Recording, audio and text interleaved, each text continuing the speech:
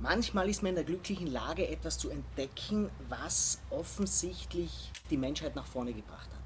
Ich bin gerade auf Forschungsreise und habe da ein Lebewesen entdeckt, das die Zwischenstufe zwischen Zweifußstand und Vierfußstand uns noch ganz deutlich zeigt. Ich wusste nicht, dass es noch Exemplare auf der Erde gibt. Sie sind noch nicht so weit, dass sie ganz sicher auf zwei Füßen stehen. Sehr, sehr viele arbeiten noch mit den Händen, auch noch mit dem Kopf.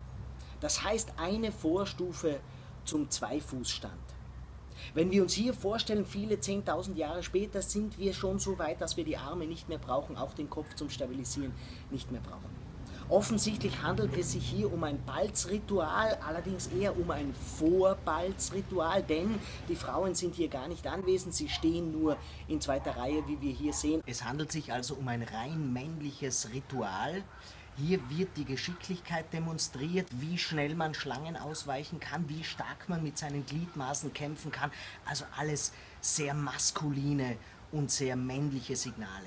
Es gibt Frauen, die sich von dem massiv angezogen fühlen. Der Mann von ihr muss sie mit kräftiger Hand zurückhalten, da sie ihre Begeisterung fast nicht mehr bremsen kann. Offensichtlich geht es hier nur darum, welches Männlein wird ausgeschlossen, welcher kann sich durchsetzen. Hier sehen wir zum Beispiel wie sie sich den Platz streitig machen. Eines dieser Männlein macht sich schon bereit, er beginnt schon seine Federn schön zu richten und im nächsten Moment ist er schon drinnen.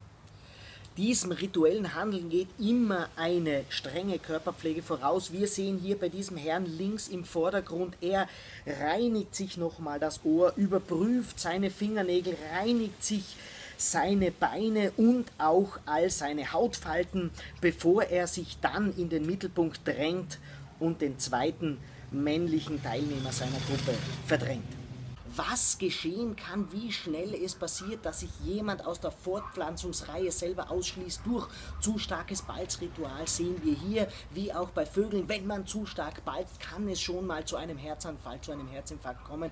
Und hier sehen wir einen Exitus bei diesem Balzritual, bei diesem Mann ist äh, das Balzritual tatsächlich tödlich ausgegangen. Also hier ganz, ganz starke Kämpfe.